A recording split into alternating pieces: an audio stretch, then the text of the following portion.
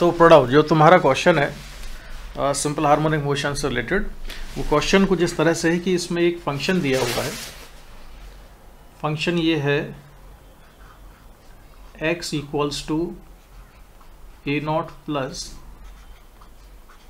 A sine omega T plus B cos omega T इस तरह का ये फ़ंक्शन दिया हुआ है। इसमें A naught A and B constant है। और omega as is angular frequency और टी टाइम है। एक्स जो दिया हुआ है इसमें स्मॉल एक्स जिसको मैंने बनाया है, ये स्मॉल एक्स है पार्टिकल का X coordinate with respect to origin of coordinate system X represent करता है origin of X coordinate of the particle with respect to origin of the coordinate system X का मेज़रमेंट पार्टिकल की equilibrium position से है कि नहीं, इसके बारे में हम अभी श्योर नहीं है। क्यों श्योर नहीं है? क्योंकि ये जो इक्वेशन है, ये सिंपल हार्मोनिक मोशन की स्टैंडर्ड फॉर्मेट में नहीं है अभी। स्टैंडर्ड फॉर्मेट वाली जो इक्वेशन होती है, वो किस तरह की इक्वेशन होती है? सिंपल हार्मोनिक मोशन की जो स्टैंडर्ड फॉर्मेट की इक्वेशन होती है, उसको जनरली हम इस तरह से पढ़ते हैं। X equal to A sine omega T plus phi, इस फॉर्मेट में वो इक्वेशन हमने पढ़ी हुई है। लेकिन यहाँ पर जो इक्वेशन है, ये थोड़ी डिफरेंट है। तो हम कोशिश करते हैं कि इसको हम कन्वर्ट करें इस सिंपल हार्मोनिक मोशन की स्टैंडर्ड फॉर्मेट वाली इक्वेशन में। ठीक है? तो मैं इसको कैसे लिखता हूँ? मैं इसको लिखता हूँ X minus A naught equal to और ट्रिग्नोमेट्री में जिस तरह से करते हैं, वही अप्रोच मैं ले रहा हूँ यहाँ। Under root A square plus B square से हम इसको डिवाइड भी करेंगे और मल्टीप्लाई भी करेंगे। तो मैंने मल्टीप्लाई किया यहाँ पर under root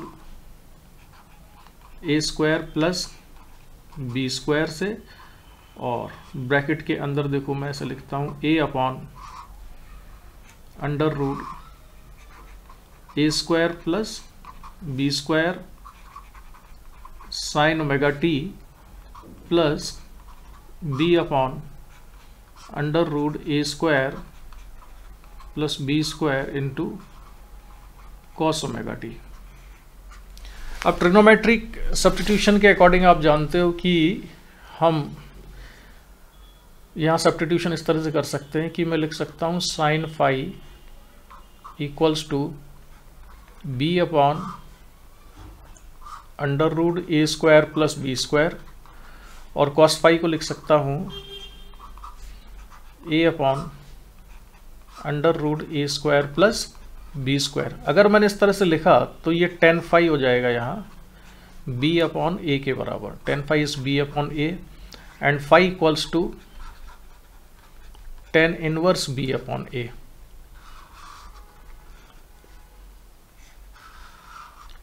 इस तरह से फाइव की वैल्यू हम लिख सकते हैं।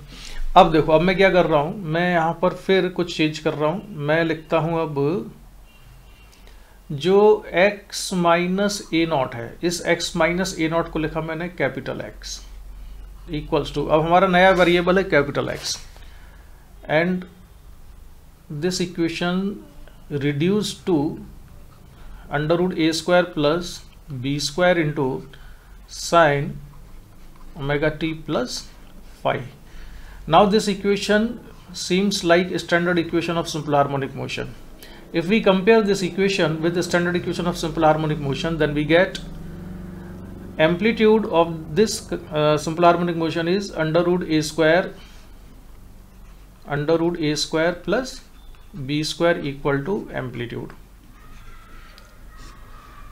So we can see that कि एम्पलीट्यूड जो हमारा क्वेश्चन में पूछा गया था एम्पलीट्यूड तो हम यही निकाल सकते हैं लेकिन दिमाग में सवाल ये आ सकता है कि यार हमसे पूछा तो गया था कि स्मॉल एक्स के बारे में लेकिन हमने इक्वेशन को चेंज कर लिया है कैपिटल एक्स के बारे में। तो कैपिटल एक्स जब हमने लिया है, तब ये पार्टिकल सिंपल हार्मोनिक मोशन कर रहा है कि नहीं?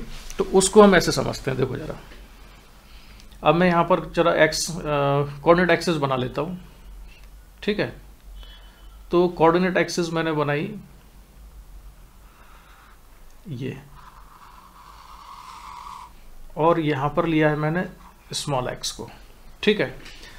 तो सिंपल हार्मोनिक मोशन की मीन पोजीशन क्या होती है? मीन पोजीशन तब होगी जब x इक्वल्स टू ज़ीरो आएगा। अब ये x का मेज़रमेंट कहाँ से हो रहा है?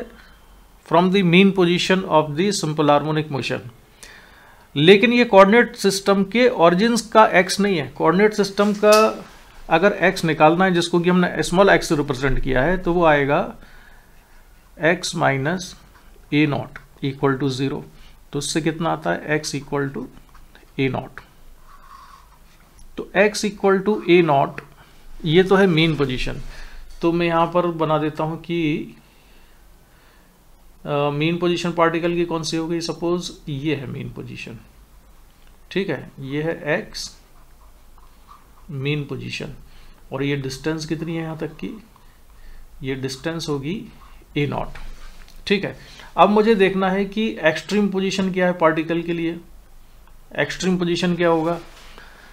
तो एक्सट्रीम पोजीशन वहाँ पर होगी जहाँ पर ये sine omega T plus phi की value sine omega T plus phi की वैल्यू जब वन हो जाएगी तो कैपिटल एक्स मैक्सिमम आएगा।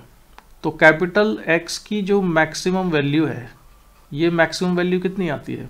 ये आती है under root A square plus B square के बराबर। और स्मॉल एक्स की टर्म्स में अगर मैं लिखूं तो यही है X minus A naught equal to under root A square plus B square इतना हो गया। और ये स्मॉल एक्स कैसा है? इस समय ये मैक्सिमम वैल्यू स्मॉल एक्स की। तो स्मॉल एक्स मैक्सिमम कर देता हूँ। तो स्मॉल एक्स की मैक्सिमम वैल्यू कितनी हो जाती है? स्मॉल एक्स की मैक्सिमम वैल्यू को आप लिख सकते हो A naught plus under root A square plus B square ये लिखा हमने। तो x मैक्सिमम देखो कितना होगा, हम यहाँ रिप्रेजेंट करते हैं। मान लेते हैं कि ये जो वैल्यू है, ये रिप्रेजेंट करती है x की मैक्सिमम वैल्यू x मैक्सिमम और ये x मैक्सिमम कितना है? A naught plus under root A square plus B square के बराबर। अब देखो, ये तो है मीन पोजीशन और ये है एक्सट्रीम पोजीशन एक्सट्रीम पोजीशन से मीन पोजीशन के बीच का जो डिस्टेंस होता है, वो किसके बराबर होता है? वो होता है एम्पलीट्यूड के बराबर। तो ये होना चाहिए एम्पलीट्यूड तो ये डिस्टेंस कितनी आएगी? ये वाली डिस्टेंस इस डिस्टेंस को आप अगर निकालोगे तो ये आएगा A naught plus under root A square plus B square minus A naught ये इतना डिस्टेंस हुआ। और इसको अगर तुम सब्ट्रैक्ट करके जब निकालोगे तो ये हो जाएगा under root of A square plus B square और यही जो है इसका आंसर भी होगा। ठीक है?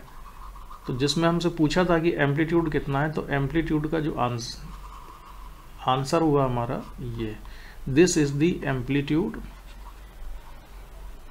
and answer तो ये जो इक्वेशन थी, इस इक्वेशन में खास बात ये थी कि origin of coordinate system and equilibrium position of the particle are not the same position दोनों अलग अलग पोजिशन है। अब देखो इसमें आ, मेरे ख्याल से समझ में आ गया होगा इसमें अगर इसके अलावा भी कुछ डाउट है तो अपनी क्वेरी भेजना तो मैं फिर तुमको उसको भी क्लियर करता हूँ। मेरे ख्याल से तुम सभी लोगों को इससे समझ में आ जाएगा। ठीक है?